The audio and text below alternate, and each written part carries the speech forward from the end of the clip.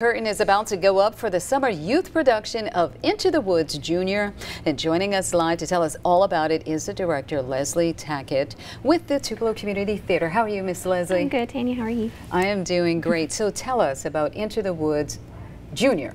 Yes, so we have almost 50 kids from all over North Mississippi in this production. Um, they've been working hard for about eight weeks, um, practicing, learning about theater etiquette, learning theater terms, um, learning lots of songs and dances. This is a very complex show. Um, the music is very hard. Stephen Sondheim is like mm -hmm. this. I mean, he is like the hardest. And so they have worked so hard, and we're so proud of them for them to show off what they've learned. Okay, so tell us, when does the curtain go up? So this Thursday, June 27th, is our first show at 7 p.m. And then we'll have another show Friday night on the 28th at 7 also. And then our final show will be Saturday. It's a matinee at 2 o'clock. Now, right now we're showing a flyer of the um, of the play that's mm -hmm. opening up this week.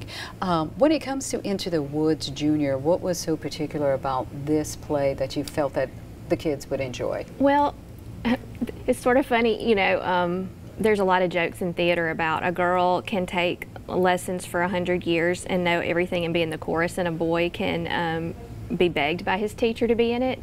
Um, we've always had trouble getting boys.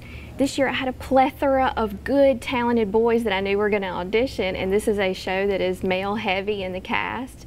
And so um, we thought, oh, wow, we may never have this many boys again. and it's just a great story. Um, it, it, incorporates a lot of stories from Grimm's fairy tales that you know and love, like Little Red Riding Hood, Cinderella, um, Jack and the Beanstalk, and it combines them all in one really funny and sort of fantastic story that's just a lot of fun to put on a stage with kids. Mm, all right. And how difficult? Was it kind of difficult to be able to get them all on the same page and finally get them to where they need to be? It always is. Summer schedules are so busy. These kids are, you know, going on trips and going to camps and going to church camp. Um, so it is hard to sort of make all that mesh into one final product, but they um, they really do work hard, and um, I've got so great team of um, Liz Dawson's my assistant director, Meg Kaysen, my um, musical director, Lisa Martin at the theater has been integral in getting all our tech working. Um,